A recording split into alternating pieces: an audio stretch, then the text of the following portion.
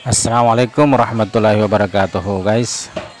Pinapakita ko lang po sa inyo kung paano po magluto ng adobong uh, malagkit. May halong patatas. Ayan po, hinahalo-halo po natin guys. Tinan po at panoorin po natin guys Ang pagme-mix nito. At saka kung ano po ang mga karapat dapat po na ihalo dito po. Yan po. Adobong manok po yan guys. Yan, nilagyan natin ng konting tubig. Tubig na paunti-unti lang po guys.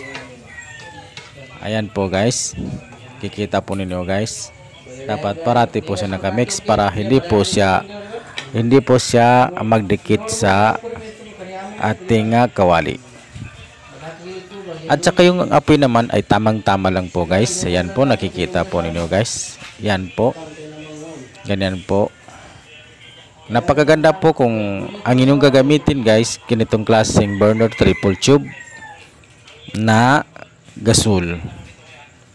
Yan po guys tingnan niyo malapit na siya mag brown at haluan natin siya ng oyster ingredients. Yan po ang klaseng ihalo natin guys. Masarap na masarap ang oyster oyster. Yan guys. Ah, medyo mainit-init na po siya guys. Kung mainit-init na po siya guys, ay ihahalo natin guys yung oyster guys. Tingnan natin guys. Kung mainit na. Ganyan po.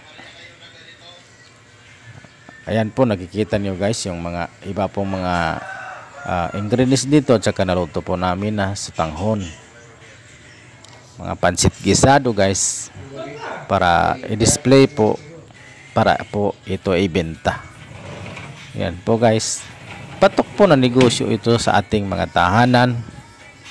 Guys kung gusto nyong uh, gayahin na uh, marami po ang makakagusto bumili sa inyo dahil hindi na sila makapagluto ng kanilang ulam.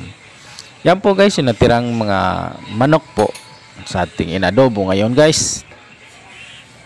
Ayan po kailangan natin ng konting uh, konting uh, asin.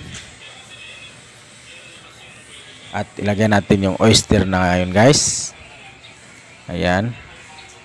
Ubusin natin yung isang sase ng oyster guys. At i-mix na mix natin ang adobong manok na malagkit. Bakit po naging malagkit guys? Dahil kanina po sa pagtitimpla po natin ay may halong cornstarch. Yan po ang nagpapalagkit po niyan guys.